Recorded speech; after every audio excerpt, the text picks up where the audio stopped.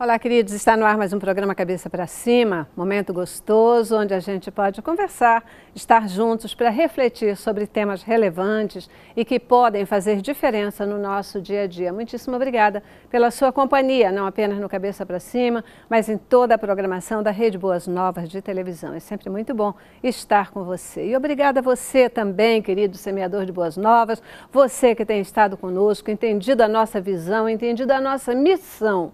E é por isso que você ora por nós, é por isso que você semeia aqui com qualquer valor que você tem condição de semear e essa sua semente tem dado frutos, porque tem abençoado muitas vidas. Os próprios telespectadores nos dão esse tipo de feedback e a gente sabe que muita gente não dá, mas que também é alcançado pelo amor de Jesus transmitido pelas ondas de rádio, pelas redes de televisão, pelas boas novas de Cristo Jesus. Muitíssimo obrigada de verdade. Que o Senhor continue te abençoando, continue mantendo acesa essa chama de semear no reino de Deus e que essa graça e essa paz do nosso Senhor Jesus Cristo ele possa alcançar todos vocês que nos acompanham nesse momento e em qualquer outro momento aqui na Rede Boas Novas de televisão.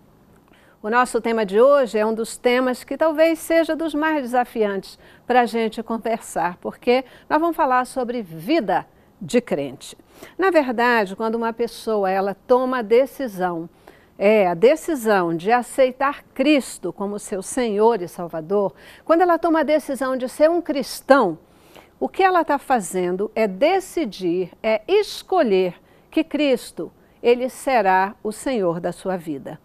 Essa é uma decisão tão importante, mas tão importante, que ela é comparada a um novo nascimento.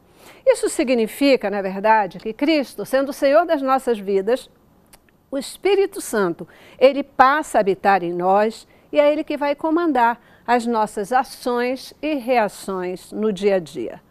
Isso muitas vezes gera muito conflito, especialmente no início dessa relação, não é mesmo? Mas a própria Bíblia, ela diz para a gente o seguinte, que aquele que vive em Cristo, ele anda em Cristo. E isso se torna possível porque esse Espírito Santo que habita em nós, ele mesmo vai desenvolver em cada um de nós o caráter ou as virtudes do caráter de Cristo.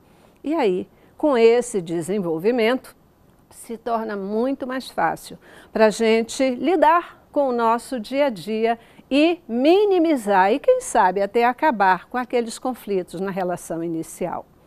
Paulo, o apóstolo Paulo, ele vai chamar para essas virtudes de fruto do Espírito. E é sobre esse fruto que a gente vai conversar no programa de hoje. Começamos com o nosso informativo. A vida cristã é uma batalha entre as obras da natureza pecaminosa e os frutos do Espírito Santo. Como pecadores, as pessoas ainda estão presas a um corpo pecador e, como cristãos, o Espírito Santo produz fruto e o seu poder disponível para ajudar a vencer as ações da nossa natureza de pecado.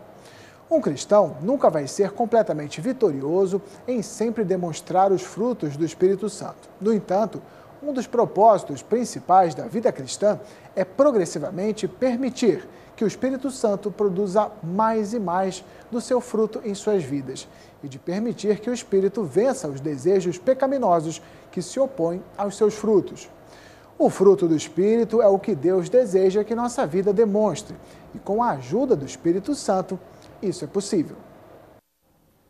Pois é, né? Falar sobre fruto do Espírito é sempre uma coisa muito importante, muito gostosa e às vezes algo difícil da gente entender, né? Porque muitas vezes nós, cristãos evangélicos, temos uma tendência a usar uma linguagem bíblica que a gente fala, mas não, nem sempre a gente de fato entende aquilo que a gente está dizendo. Aí parece um discurso que ele é meio difícil de alcançar. Mas o que a gente quer, conversando sobre fruto do Espírito, é mostrar que isso é muito mais simples do que parece. Né? É isso aí, se o Espírito habita em nós, a gente pode sim praticar o fruto do Espírito. Para falar sobre o tema, Tenho o prazer de receber aqui no estúdio o Lucas Gesta, ele que é professor de História da Igreja. Muitíssimo obrigada por estar aqui com a gente. Obrigado, prazer é todo meu, mais uma vez aqui e na companhia do pastor Marcelo, pastor Brian. Isso é uma benção, que Deus abençoe nosso debate hoje. Isso aí, muito bom, muito bom. Falar sobre fruta do Espírito e falar com um jovem, né? que parece que durante a juventude é mais difícil da gente deixar esse fruto assim ou essa árvore frutificar de verdade, né? Verdade. Nos primeiros séculos da história da igreja era comum você só se batizar depois que passasse a juventude, as paixões da juventude, porque tinha havia uma concepção de não poder pecar depois do batismo. Então muitos cristãos esperavam passar a juventude e as suas paixões para depois se batizar no leito de morte, quando tivesse velhinho. Uhum. É, de tão complicado que essa é, questão da juventude. Que esse negócio aí não é muito distante não, né? É. Tem muita gente que ainda hoje pensa assim, né? Verdade. Pensa assim de verdade. Quero apresentar para vocês também o pastor de jovens Marcelo Macedo, Muitíssimo obrigada por estar com a gente aqui hoje. Eu que agradeço, Celeste. É uma alegria estar com vocês aqui na Rede Boas Novas. Como você já falou na introdução do programa, tem abençoado muitas vidas e espera cooperar um pouco com isso aqui nesse, nesse momento. Amém, amém. Como pastor de jovens, você é, certamente tem aí uma, alguma experiência uh, em lidar com esse conflito né, da juventude entre praticar o Evangelho, conhecer o Evangelho e praticar o Evangelho. Né, Sim. O desafio é tornar as palavras do texto vividas, né? trazer vida ao texto. Uhum. A vida se vive na prática, a vida é ao vivo e a cores. E a cores. Não tem replay, não dá para voltar, não é um jogo, falando a linguagem da juventude, uhum. né? Que você deu errado, você para e volta de onde você salvou ao último momento. Uhum. Então, uhum. entender o contexto bíblico e trazer isso para a realidade do jovem é o, é o, desafio e é o que a gente gosta de fazer de verdade. É verdade.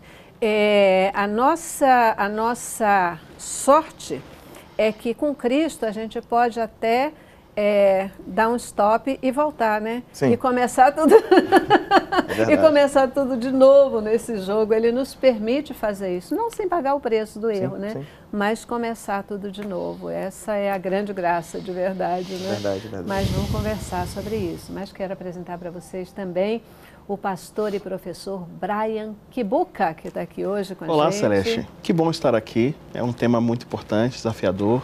Estar aqui entre amigos para discutir esse tema também é importante, uhum. né? Afinal, é, pensar em fruto do Espírito, né? É pensar em vida cristã e nos desafios dessa vida. E eu espero que a gente possa contribuir com esse, com esse diálogo. Certamente, certamente. É, é, é, falar em fruta do Espírito é a gente realmente falar em vida cristã, falar em prática de vida cristã, né? Porque é, uma das perguntas que muita gente se faz, e, e a gente se faz o tempo todo, é ah, por que que, tendo a população evangélica, cristã, crescido tanto, né, de maneira tão significativa no Brasil nos últimos tempos, é, de repente a gente não percebe isso dentro da realidade de vida do nosso país, né? É, embora o número de evangélicos cristãos tenha crescido, é, não necessariamente a gente vê no dia a dia do país um relacionamento melhor, uma prática cristã aprimorada. Às vezes, até pelo contrário, né? a gente percebe certos preconceitos tão acirrados e não dá muito para entender. Né? É, igre... Pode, Vai? por favor. A igreja brasileira ela tem um perfil muito interessante é que ela é plantada por pastores que são evangelistas. O perfil dos pastores que vêm trazer o evangelho aqui desde o final do século XIX, início do século XX, e aí se arrastando, é o pastor que quer ganhar almas, é o pastor que quer evangelizar, é o pastor que quer encher o templo de vidas. E, e, e na, na Bíblia, esse é o evangelista. E o que falta na igreja brasileira é o pastor, aquele que vai fazer o trabalho de discipulado. Então nós temos mais evangelistas e pouquíssimos discipuladores. Mais homens e mulheres tentando encher o seu tempo de, de vidas, tá? mas pouco se preocupando com as vidas que entraram naquele momento. Na transformação dessa Na transformação, vidas, no cuidado, no discipular, no ensinar, no acompanhar vida por vida. Então, nesse processo, você acaba tendo uma igreja que pessoas dizem que receberam Jesus e tiveram um novo nascimento, só que não cultivam o fruto do Espírito, não, não, não entendem, não conhecem. Muitas foram por emoção, muitas foram porque acharam aquele ambiente legal, aquele ambiente interessante, ou até faz bem para elas, mas não passaram ainda pelo processo do novo nascimento. E depois do processo do novo nascimento, você tem o processo da regeneração, da santificação, que é necessário que tenha um discipulador, que tenha um pastor que, que segure, que, que, que acompanhe que vá tratando de cada dilema. Então, enquanto a gente não, não, não nos enquanto a igreja brasileira não se voltar para o membro que já está lá dentro, né, para potencializar o trabalho com esse membro e só pensar em quem está lá fora e colocar para dentro, a gente vai ter 30, 40 milhões de evangélicos que fazem pouquíssima diferença e, e, e manifestam pouquíssimo fruto do Espírito Santo. Uhum, uhum. É, porque não adianta, né? Só levantar a mão. Isso é só o início de um processo, né? Início de um processo. Você ia falar, pastor? É, o que eu ia dizer é que é, uma marca do protestantismo brasileiro, das igrejas evangélicas, é que elas são, é, todas têm o discurso de seguirem a Escritura, de seguirem a Bíblia. Faz parte da matriz.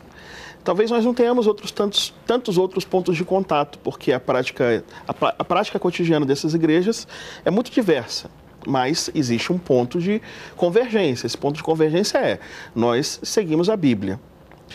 Mas é tão plural a maneira como se lê a Bíblia que não dá, pra, não dá nem para identificar qual é a Bíblia que cada grupo está lendo, porque cada um diz, a partir dos mesmos textos, coisas muito diversas.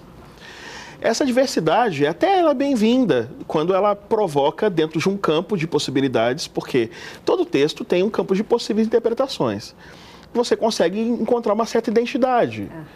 Mas quando nós passamos um pouco da medida, é a minha impressão. Eu posso referendar ou afirmar essa impressão com dados. Nós temos um deslocamento hoje de 58% dos crentes brasileiros para outros grupos. É censo de BGE. Uhum. É, dos cristãos que se tornam evangélicos, 37% deixam de ser evangélicos e passam a, a ser cristãos que não se identificam com nenhuma denominação. É, há um movimento das igrejas pentecostais e neopentecostais para os cultos afro-brasileiros. Significativo hoje. Há um outro movimento das igrejas pentecostais e neopentecostais para as igrejas históricas. Mas nessas igrejas históricas eles assumem uma grande, uma radicalidade, que não é bíblica, mas é, às, às vezes, de pequenos flashes é, da doutrina reformada que seja, mas sem profundidade. É, é como se substituíssem radicalidades. Uhum. Então, falar de fruto do Espírito é a oportunidade de falar, é, olhar para o texto bíblico e pensar o que significa essa metáfora. Para mostrar que essa metáfora não pode ser interpretada de qualquer maneira. Porque existem possíveis maneiras diferentes de interpretar o texto, isso é possível, mas dentro de um campo. Depois que passamos de um certo limite, já não é mais leitura do texto, já é apropriação do texto. Já é, uma interpretação. já é uma interpretação do texto que não respeita mais o texto, já é outra coisa. E eu, eu creio que esse é o ponto. Depois nós vamos voltar a falar sobre isso. Com certeza. É, o que significa essa metáfora do fruto? Como uhum. analisar uma metáfora bíblica desse tipo, que é tão era para ser muito prática e não é tão prática é, no é. discurso hoje. Vamos né? dizer assim, que ela é para ser prática, porque o evangelho ele é prático, o evangelho é para a vida. Aplicado eu, na vida. É, né, eu, eu, às vezes, fico incomodada quando a gente começa a falar assim, ah, porque tem a, a vida cristã e a vida secular, hum. né? Ah, porque tem o cristão que na igreja e o cristão no mundo. Como assim? Eu não consigo entender esse tipo de divisão. Para mim, só existe o cristão no mundo. Né? Ele vai na igreja para se alimentar, para se é, discipular, para conhecer mais da palavra, para estar com, com, com, com Deus, louvar a Deus, essa coisa toda. Mas ele vai para se alimentar, digamos assim. Mas ele está no mundo e é no mundo que ele tem que ser aquilo que a gente também gosta, né, das expressões de ser sal, ser luz, essa coisa toda. Pode falar. A gente pastor. foi abrindo mão de alguns princípios e valores e hoje a gente já vive uma realidade que na década de 80, por exemplo, você, era muito comum ouvir o termo ah, o católico nominal, o católico que, que é, se diz católico. Eu nasci numa família assim e me dizia católico até ter o encontro com Cristo, mas dos regimentos e dos sacramentos da Igreja Católica, primeira comunhão, nada disso participei. Me professava católico nominalmente, sem nunca ir à missa, enfim.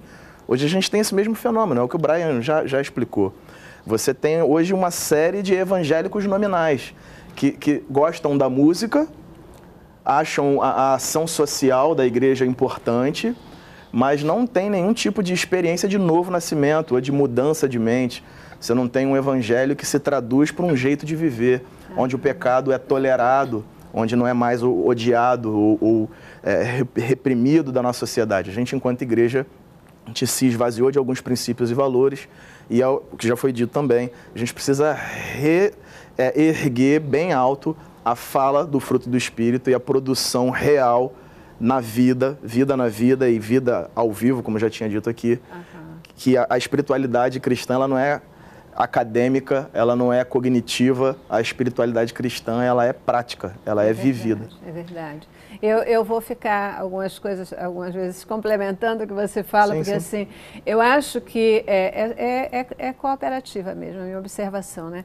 Eu acho que ela é extremamente cognitiva, né? Porque ela vem, aliás, o resultado prático é exatamente advindo desse conhecimento, dessa transformação Sim. de mente que você colocou. Eu, eu entendi o que é, você é disse, o que, você não o que quis dizer. é o espírito, né? o fruto é dele, não é meu. É isso não aí. É da, não é da minha mente. Não é só uma coisa de conhecimento, não, não é, não, né? É um conhecimento é espiritual. Que é educação, né? É aquela coisa que ela muda a nossa mente Sim. e aí é a metanoia natural, que o, que o Paulo vai e falar. aí vai funcionar como aquela história da escala de Maslow, né? Que a gente conhece, mas ainda não age cômoda, que a gente conhece e começa a colocar no nosso comportamento. Daqui a pouco a gente já não distingue o conhecimento do comportamento e ela vai, a gente vai subindo Sim. na escada, na verdade o movimento não é esse, é esse, né? A gente Sim. vai subindo na escala e daqui a pouco a gente já age Mas naturalmente. A origem da, da imagem do fruto, essa imagem é encontrada em alguns textos da Bíblia.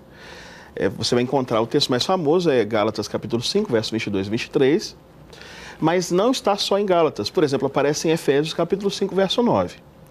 Essa imagem, ela não é uma imagem que vem do mundo sagrado. A imagem do fruto é uma imagem que é tirada do estoicismo na literatura estoica do século anterior a Paulo e do século de Paulo, é, as pessoas ensinavam, os estoicos ensinavam, os estoicos tardios ensinavam que era preciso entender a vida a partir de algumas imagens. Uhum. A imagem do corpo é usada por Paulo, a imagem do edifício é usada por Paulo, a imagem da plantação é usada por, por Paulo, a imagem da família também é usada por Paulo, a imagem do fruto o estoicismo se tornou popular no século I. Então, nas ruas das cidades, e Paulo escreve para as cidades, nas ruas das grandes cidades se falava de, de fruto. É, isso é parte da retórica popular. As pessoas não podem pagar para um orador para ensinar a elas quais são os princípios da moralidade cívica ou pública. Elas vão aprender por listas. A gente chama isso de catálogos de vícios e virtudes. São listas que ensinam o que se deve fazer e o que não se deve fazer. Quando nós pegamos Gálatas capítulo 5, verso 22, nós vamos observar que aquilo ali é uma lista. É uma lista como as listas que são listas é, democráticas, públicas, que são ensinadas popularmente, para dizer o que, que, a gente deve fazer, o que a gente não deve fazer. Em Gálatas, capítulo 5, tem duas listas. Uma lista do que não se deve fazer, que é mais Fruto extensa. da carne. É, a, as obras da carne, Chamada, né? É obra da as carne. obras da carne. E tem a, a, o fruto Logo do Espírito. Depois. A imagem do fruto pode ser... Tem três imagens usadas por Paulo, que são imagens que são típicas de Paulo. O fruto como resultado do trabalho que aparece, por exemplo, em Romanos capítulo 1, verso 13. O trabalho, eu quero estar com vocês, Romanos, para receber algum fruto. É recurso. O fruto como coisa negativa. Ou seja, depois eu vou falar disso. E o fruto como coisa positiva, como, como reflexo de alguma obra. Então, fruto é o resultado de um trabalho prévio. Perfeito. A gente vai dar uma paradinha aqui, porque eu já preciso para o meu intervalo, e esse é uma, essa é uma palavra que a gente vai querer vincular muito daqui para frente. Sim. Fruto como resultado, Bacana. né? Fruto como resultado. Eu acho que isso pode nos ajudar e muito a compreender melhor e, quem sabe, a trazer muito mais essa questão para o nosso dia a dia e para a nossa prática cristã. Legal, tá legal? legal. Okay. Eu vou para o intervalo e a gente volta já.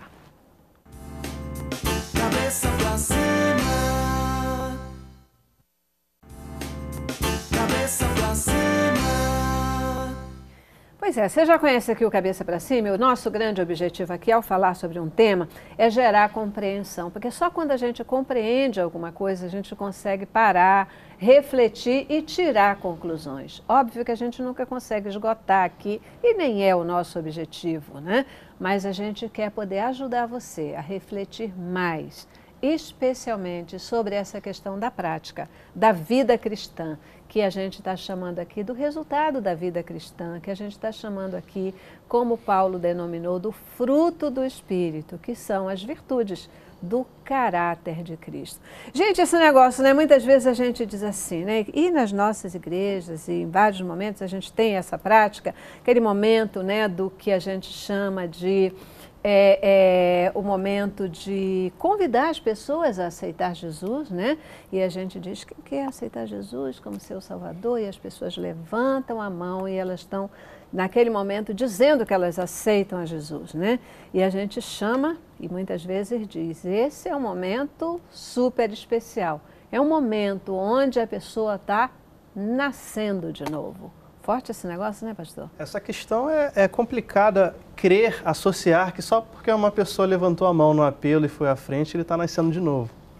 É muito complicado porque o tipo de evangelismo que a gente tem é um padrão que nasce por volta do século XVIII e XIX nos Estados Unidos, que é um evangelismo muito violento. Você joga o cara no inferno, você vai queimar, você vai fritar. na, no mármore do, do inferno uhum. e depois você joga boia. Então vem aqui na frente, levanta a mão que você vai para o céu. Uhum. Aí parece que a gente importou esse, esse padrão e pelo fato de um indivíduo levantar a mão naquele momento e ir à frente, nós cremos que ele está sendo salvo, que ele realmente está crendo. Mas a, a única coisa que prova que o indivíduo foi salvo por Cristo é o fruto do Espírito. Né? Em primeiro lugar, não são os frutos, o fruto é um só. Antigamente as pessoas falavam: não, eu tenho paz, mas eu não tenho longanimidade. Ah, eu tenho amor, mas eu não tenho mansidão. Não, não é isso. Momento, o fruto é um só, apesar dele estar dividido com essa lista, e, e é como a, a, uma parábola que eu vi bem, bem, bem simples na tangerina, né? É um fruto só, é, com vários, vários gominhos, então você vai. Ah, no momento que você nasce de novo, o Espírito Santo te regenera, te justifica, e aí você começa o processo de santificação. Então é gerado no ser humano isso. Não é uma coisa que eu decido ou deixo de decidir, mas é a própria prova que eu me arrependi e que eu fui justificado. Então aquilo começa a operar em mim. É claro que a vida cristã ela é sempre um processo dicotômico. Vai vir o, a, a, minha santificação, mas vai vir também a, o meu velho homem sempre tentando trazer né, o passado. Só que a vida cristã é um caminho sem volta uhum. em direção a Cristo. Então, esses frutos, eles acontecem. A verdadeira vida cristã é um caminho sem volta. É um caminho né? sem é um volta para o céu, graças uhum. a Deus. É isso aí. E, e, e, a minha provocação dentro disso que você está colocando é essa questão, né, e queria que vocês complementassem, por, por gentileza, é essa questão de que... Ah, é esse modelo que a gente cria, né? Levantou a mão, tá salvo. Levantou a mão, agora você, o que você fizer de errado, você vai arder no fogo do inferno. E a gente começa a criar um processo de culpa, um processo que ele é muito complicado e conflituoso, porque no dia a dia a gente vai dizer assim, como? Mas espera lá, o desejo da carne está presente em mim. Sim, sim. Como? Ah, cara, eu que estava acostumada às vezes a fazer isso, fazer aquilo, e a gente sempre pensa, né? Eu acho lindo profissão de fé quando as pessoas vão assim, não, porque eu colava, agora eu não colo mais, eu mentia, agora eu não minto mais, eu desobedecia pai e mãe, agora eu não desobedeço mais, não sei o quê. Papai. pai é lindo esse momento, mas a gente sabe que isso não é uma coisa de momento, isso é uma caminhada. Né? É uma caminhada. Tudo vai, tudo vai do, do evangelho que a gente prega e se move. Né? A, a teologia ela existe, mas ela é vivida na prática. Então, se, se eu acredito nessa teologia de que o sujeito tomou uma decisão e ali eu, eu uso às vezes até aquilo para chantagear. Não, como você está com vontade de voltar aos velhos hábitos? Não, você levantou a mão, lembra? Então, depois daquele dia, e não é essa a realidade. O, o contexto maior da, do que Paulo está trazendo para a gente ali em Gálatas é exatamente isso. Olha, é, o que já está manifesto em vocês, o que tem para vocês é obra da carne. Vocês têm que buscar viver uma vida no espírito para produzir, para que a partir dessa busca, que não termina nunca aqui, vocês produzam como fruto as virtudes que são do espírito. Não são virtudes pessoais produzidas por você, não é uma paz comum, natural, é uma paz sobrenatural. Não é um, uma paciência natural, é uma paciência sobrenatural que não é você que produz intencionalmente, é o espírito que intencionalmente produz, mas você precisa buscar uma vida no espírito. Paulo vive esse, esse mesmo problema em Romanos 7. O, o bem que eu quero fazer, eu não consigo. Eu estou preso num corpo miserável. Porque eu sou humano. Maldito, sou miserável humano. homem que sou. É. E, e ele, no final ele termina, mas quem me livra dessa lei? Dessa maldita lei que me prende nesse corpo mortal? Graças a Deus, porque em Jesus Cristo eu posso viver uma nova lei, uma lei que me move no espírito, que eu posso viver no espírito. É uma possibilidade viver no espírito, não satisfazendo as vontades que estão aqui, presentes, elas não morreram. A gente às vezes fala do, do novo nascimento como se fosse uma, uma cisão de vontades, né? É, é, e é o contrário. Você continua, Romanos 8 ele vai dizendo que você agora tem a possibilidade de viver uma nova vida, uma vida espiritual, e é esse mesmo dilema. E ele ainda termina dizendo: se é que vocês de fato são seres espirituais, Por... se é que vocês experimentaram isso. Porque, na verdade, essa decisão ela não é uma coisa emocional, ela é racional. Não. Absolutamente racional. E Paulo nos ensina isso, né? que é uma decisão racional. Por que, que ela é racional? Porque é o entendimento da decisão, o entendimento de que é, a gente vai viver lutando com a carne e com o espírito, quer dizer, com as nossas vontades é um humanas. Essa expressão, né, carne e espírito, é isso, a gente vai viver com as nossas vontades humanas, batalhando o tempo todo com as virtudes do espírito, né? Esse é o nosso grande dilema daqui na humanidade. E a gente tem que fazer opções. A gente vai ter que fazer opções. Mas é, é, é bem mais complexo do que parece por causa da nossa da nossa leitura frágil dos textos de Paulo. É, Gálatas é um texto que Paulo escreve para uma comunidade que deseja é, conhecer a Deus pela mediação de uma moral rígida ou restrita. O que, que é isso? Eles querem abraçar o judaísmo e as práticas judaicas, as obras da lei, como instrumentos para serem salvos. A alternativa que Paulo dá não é dar uma série de prescrições morais como se esperaria quando você lê um código de vícios e virtudes, como é a gente lê em Gálatas. O que ele ensina é, é, são três grupos de três ações coordenadas e que vão conduzindo cada vez mais para uma plenitude. Para ler esse texto, a gente tem que entender que ele é um texto que tem nove é, manifestações desse fruto. Essas nove são perfiladas de três em três e as três são da, da mais básica e interna para a mais exterior. Evidente. Uhum. Ou seja, é, é, é, é, muito inteligente a forma como ele constrói. Ele está dizendo um desenvolvimento da vida cristã. Uhum. Como que se desenvolve a vida cristã? Por exemplo, o tocante aos afetos. Mas os afetos, assim, é a nossa condição. Primeiro, o amor. O amor vai manifestar a alegria. E essa alegria traz para a dimensão comunitária a paz. Então não vai ter paz numa igreja em que as pessoas não comecem fundando as suas próprias vidas no amor. E manifestem esse amor na vida pública com alegria. Então não dá para ler uma separada da outra. Esse é o primeiro grupo. No segundo grupo, ele vai falar da misericórdia, da macrotimia, que é a palavra lá em grego é essa.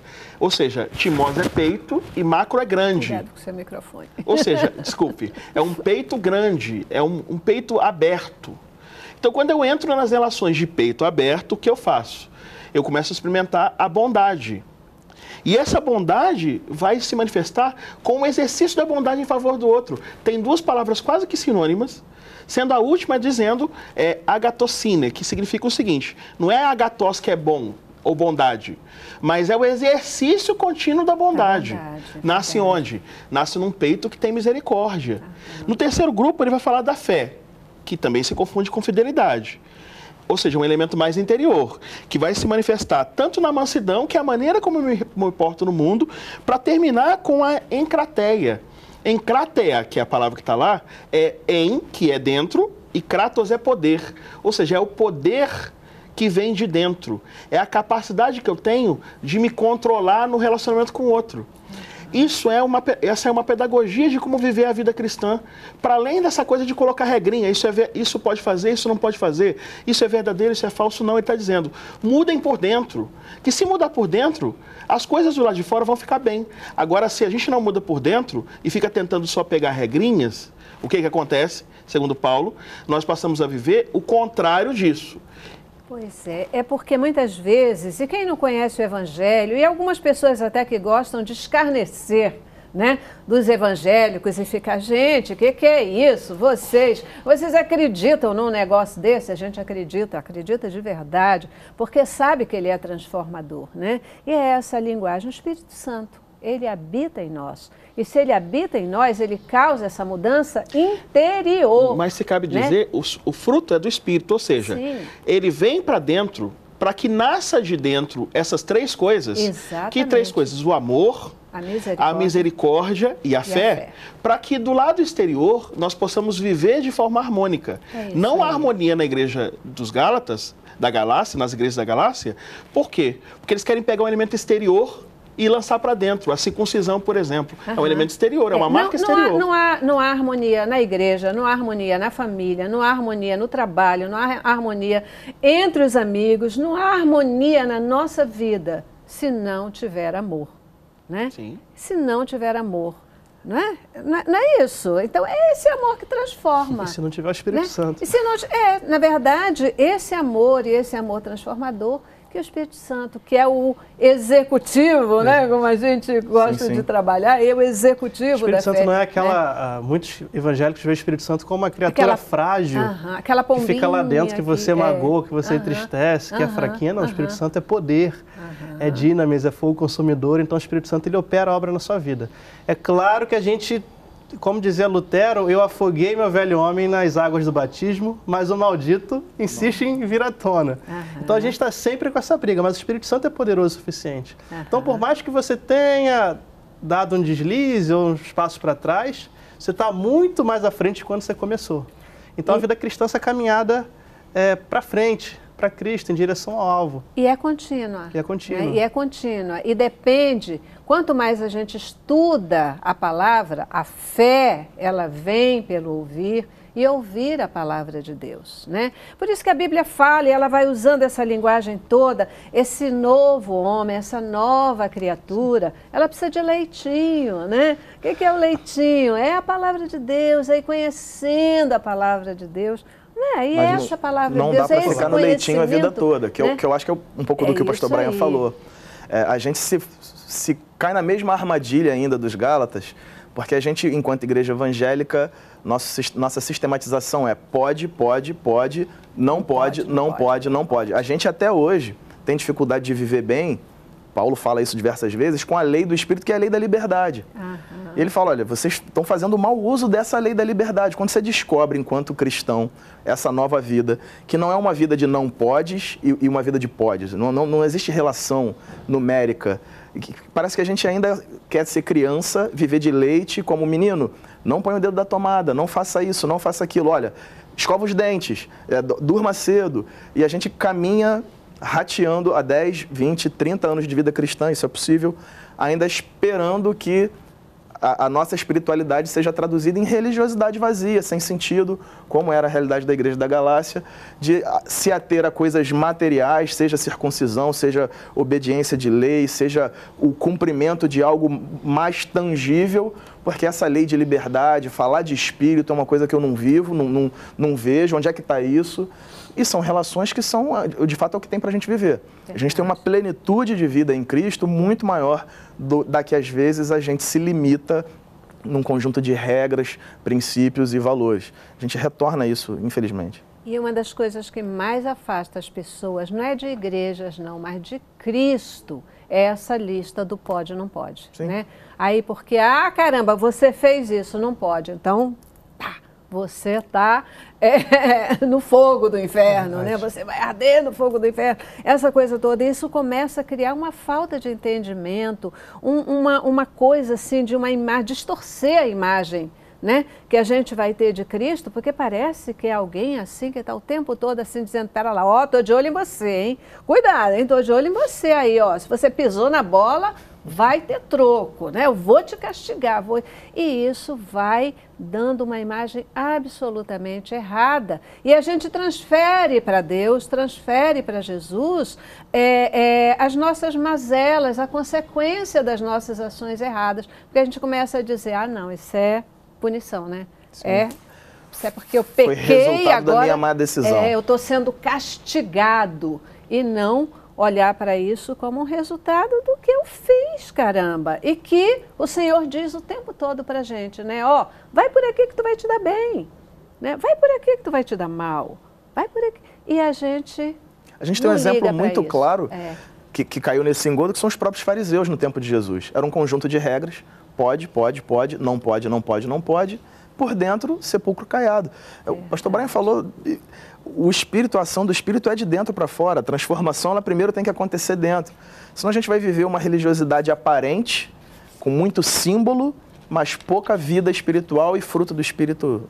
É, porque a gente acha que basta a gente dizer que nasci de novo, sou um novo homem, não sei o quê, não sei o quê, sou uma nova mulher, não tem a menor ideia do que isso significa na prática, né? Sim. E aí tá, dá tudo errado. Eu já preciso ir para o intervalo de novo, gente. Por mim eu ficava conversando direto aqui, mas eu preciso ir para o intervalo. A gente volta já. Vamos lá. Cabeça pra cima. Cabeça pra cima.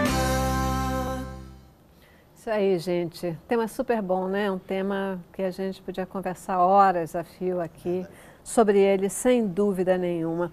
Mas vamos lá. Como é que a gente pode é, perceber, na verdade, é o fruto do espírito numa pessoa? Como é que a gente percebe isso? Bom, é. vamos, vamos. Eu vou, eu vou falar uma coisa ah, antes para o Lucas poder responder. É, há algumas escolhas alternativas para essa, para essa chave que Paulo aponta de uma transformação profunda e interior. As alternativas mais baratas, mais fáceis, são as seguintes: um rigorismo religioso que cria vários ritos para fazer a pessoa se sentir parte de algum movimento grande. E assim ela acha que está participando do sagrado porque participa do diferente. Uhum. Por exemplo, esses grupos que judaizam as comunidades cristãs, porque aí dá uma, um senso de pertencimento a uma coisa nova. Uhum. Os grupos rigoristas, que dão um passo atrás e querem colocar bastante rigor para que a pessoa sinta que está agradando a Deus, porque se esforça com todas as suas forças para fazer aquilo que é certo dentro de uma agenda que não é a agenda da Bíblia, é uma agenda dos costumes, de roupa, de coisas que, que nós comemos, de tradições. Uma outra é a agenda intelectualizada, é criar uma série de doutrinas sofisticadas e, e profundas, aparentemente difíceis, herméticas, para fazer o indivíduo se sentir parte de um grupo elitizado intelectualmente. Essas alternativas são todas baratas, porque elas não produzem é, a mudança e a transformação no relacionamento, na vida, na forma como a pessoa lida com sua família, com seus irmãos, com a sua com a sua casa, com a sua igreja, com os seus pastores, com as pessoas que cuidam e trabalham, porque é o caminho mais fácil. O caminho mais difícil é o que Paulo apresenta, que é de pensar na, na síntese da, da, lista aquilo que indica o que é ser cristão. Falar de fruto do Espírito é falar o qual é o resultado de Cristo em mim. Aí o resultado de Cristo em mim ele está dizendo, é quando eu vivo dentro isto, me manifesto para os outros assim, e isso gera na comunidade aquilo outro. Então ele está dizendo para os Gálatas, e é, é bem claro, ele está dizendo assim, vocês não são isto. Vocês não são isto. Então Paulo está ensinando que a correção é pela denúncia. É por dizer o que é, porque dizer o que é já manifesta o que não é. é, é, é me permite, é, porque via de regra, as pessoas que se encaixam nessas três facilidades que você citou, né? Nesse perfil que você citou, são aquelas pessoas exatamente são as pessoas legalistas, as pessoas cheias de uma verborreia o tempo todo e que a gente olha para elas e diz assim: ó, oh, ó, oh, né? como é, que é e que acabam aí é até prejudicando a própria imagem de Cristo, a imagem do cristão. Elas Sim. falam, mas não vivem. vivem. Apontam o dedo toda hora para os outros, mas aí como é que fica? É, o problema é que nossas comunidades cristãs elas têm que ser terapêuticas, tanto que a Bíblia diz confessai o seu pecado uns aos outros, vossos pecados uns aos outros sereis sarados. Ah, o problema é quando a comunidade terapêutica se transforma numa comunidade de hipocrisia, como o pastor Brian falou, ah, é você mostrar que tem o um conhecimento intelectual certo da Bíblia, você mostrar que, que que é um cristão santo, perfeito, puro, né? E na verdade ele não se eh, primeira coisa, ele não manifesta isso fora da, do templo.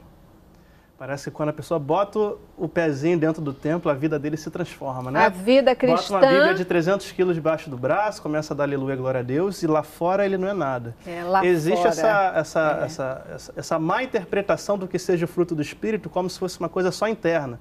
Não, eu sou santo, eu tenho fruto do Espírito porque eu não falo palavrão, não chego, não bebo.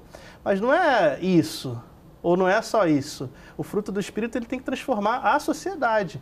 Se eu sou um pecador, a, o meu comércio que eu fizer vai ser pecaminoso, a política que eu fizer vai ser pecaminosa, a economia que eu for trabalhar vai ser pecaminosa. E se eu fui redimido, se eu sou um político, a política que eu vou fazer agora vai ser justa, vai ser a, a, a, economia que eu, que eu né, se eu sou empresário, se eu sou um comerciante, se eu sou um agricultor, meu empregado vai ser tratado de forma amorosa, eu vou ser longânimo com as pessoas que estão à minha volta, né, na minha família, na, na, na, minha escola, na minha faculdade, na, na, na, minha rua, no meu bairro, eles vão ver frutos de justiça. Onde eu estiver. Então, ser cristão é viver a vida do Cristo em simplicidade, em amor, e é mudar as coisas que estão à sua volta. Também não tem como eu ter o fruto do Espírito e me conformar com esse mundo que está aqui. Ah, Jesus vai voltar, vou ficar aqui trancado no templo e não vou fazer mais nada porque eu já sou santo. E não é isso, a santidade ela se externiza, ela vai para fora. Gera resultado. Ela, ela, ela gera transformações é, é, no, no, seu campo de ação, no seu campo de atuação. Então não existe santidade só para si, a santidade é para o outro. Até porque eu vou precisar de amor quando tiver com outro, não precisar de longanimidade, de mansidão, de fé, de fidelidade. Não né? adianta Quando eu dizer amo, amo, amo, amo, e de repente eu passo ali e vejo né, alguém que está doente, alguém que está precisando, um amigo, uma pessoa que está precisando de uma palavra. Onde está o meu amor aí? É, e a gente não faz nada. Né? É, isso é fruto, né? Quando o fruto, eu faço, ele tem que se externar. É, é isso, isso que precisa, ah, acho que, que tem que ser dito claro. A santidade não é uma coisa só interna, não é uma coisa para dentro do templo, para dentro da igreja. A santidade é para fora a santidade se mostra na minha vida cotidiana, né? a e partir aí... da segunda-feira. É. Domingo todo mundo é santo, mas de segunda a, a sábado, é ali que a minha santidade tem que atuar, mesmo fora do tempo. Aí eu dou um chute na canela do outro, essa coisa toda, e digo assim, pô, afinal de contas eu não sou santo, né? Não sou santo, pera lá, vamos lá, eu não sou santo, calma lá que eu não sou santo. Então, Verdade. aí a coisa complica. Esse, esse é um é? grande problema que a gente vive, falando de juventude, né, e trabalhando com juventude, a gente percebe isso é, é a gente se achar no direito de poder errar por já ter acertado algumas vezes no, no caminho. Ah, eu, eu, já fiz o dever de casa, mamãe, então agora eu posso brincar. Eu, eu, papai, eu já li a Bíblia hoje, então agora eu já posso pecar. Uhum. a gente se dá o direito de se desfrutar um pouco. É, Paulo vai desconstruir isso. O pastor Brian revelou ali já, né? É, as obras da carne é isso aqui. Vê se vocês se identificam. Vê se a carapuça cai. Uhum. Porque isso já está manifesto. É, isso aqui vocês conhecem muito bem. Glutonaria, bebedice, enfim. Toda aquela extensa relação. Mas o fruto do Espírito é, é outra coisa. É diferente. Perfeito. E a gente tem que é, é, recorrer menos a esse privilégio que a gente pretende nós nos damos de, ah, não, eu agora me dou o direito de fazer uma relação no meu negócio mais escusa porque eu sou fiel no dízimo. Uhum. Então eu posso negligenciar esse aspecto. É, a proposta Como se a é gente estivesse dando propina para Deus, né? Isso. Como se a gente estivesse dando propina para Deus e a coisa não é por aí. Gente, o meu tempo está quase acabando e eu não posso deixar de perguntar para vocês ainda, porque eu acho que é importante, a gente falar um pouquinho como desenvolver o fruto do Espírito. A forma de desenvolver o fruto do Espírito é tendo o Espírito ter o Espírito em si, segundo Atos, capítulo 2, versos 38 e 39, diz assim: Arrependei-vos e cada um de vós seja batizado em nome de Jesus para a remissão dos vossos pecados, e recebereis o dom do Espírito Santo. Então, o ato de entender que a vida chegou à falência sem Deus é a abertura para que o Espírito passe a tomar parte da nossa vida. Obviamente que quem tem o fruto do Espírito quem, e quem não manifesta esse fruto, Eles serão iguais porque eles serão pecadores, ambos serão pecadores. A diferença de um é que um é um pecador humilde e o outro não. Um é um pecador que sabe que é pecador e que está sempre fazendo a oração do publicano e o outro faz a oração do fariseu. Uhum. Essa capacidade de, de abrir-se para o Espírito, entender que a minha vida é insuficiente, eu preciso de mais de Deus, é o passo fundamental. O restante é consequência. Esse é o campo fértil para que Deus haja e manifeste em nós a sua graça. É sabermos que por nós mesmos nós não podemos frutificar. E por isso a gente tem que buscá-lo sempre. Exatamente. Continuamente. A né? parábola do bom samaritano é o modelo de cristão ideal. É, o samaritano ele vai ajudar um homem que tá, foi espancado, foi assaltado. o samaritano ele vai fazer de tudo para que aquela pessoa se recupere.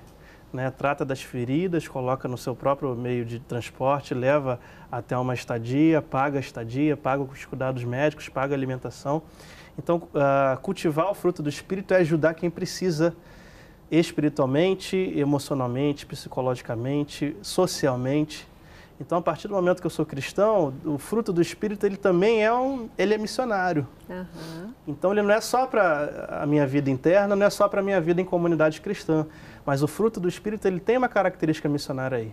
Então, quando eu me deparo com alguém que precisa de alguma coisa, e não é só uma oração, só uma leitura da palavra, mas tudo, cuidado médico, assistência, cuidado psicológico e eu posso doar com a minha profissão, com o meu dom, e aí e eu começo a ser canal de Deus para ajudar aquela pessoa, estou desenvolvendo os frutos do Espírito. Então, o fruto do Espírito ele, ele é igual você ir para a academia fazer musculação, você tem que exercitar o tempo todo com quem aparece no seu caminho. E às vezes, se você parar de se exercitar, o músculo pode começar a ficar flácido e de definhar, novo, né? E definhar e definhar de novo. Não tem jeito, não tem jeito.